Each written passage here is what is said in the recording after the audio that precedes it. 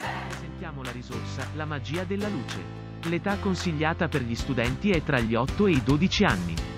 In questa risorsa si parla di spettroscopio, scienze, fisica, ruote di colori, arte, colori primari, colori complessi, arcobaleno e luce. In questa serie di attività gli studenti costruiranno uno spettroscopio che permetterà loro di vedere le proprietà delle diverse sorgenti di luce bianca o colorata. Studieranno come la luce viene scomposta in colori primari e come si formano i colori complessi. Dovranno realizzare la luce bianca costruendo una ruota di colori. Gli obiettivi sono costruire uno spettroscopio, utilizzare lo spettroscopio per scomporre la luce bianca e i colori complessi, formare colori con la ruota dei colori primari, capire, parlare, sperimentare e sviluppare idee sui fenomeni quotidiani, documentare le esperienze attraverso il lavoro creativo, lavorare in gruppo in condizioni di tempo limitate.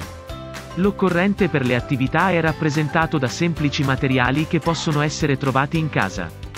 Considera almeno 4 ore per la pianificazione e l'esecuzione. L'occorrente per questa seconda attività è rappresentato da semplici materiali anche questi facilmente reperibili. Il tempo da considerare è di 2 o 3 ore tra pianificazione ed esecuzione.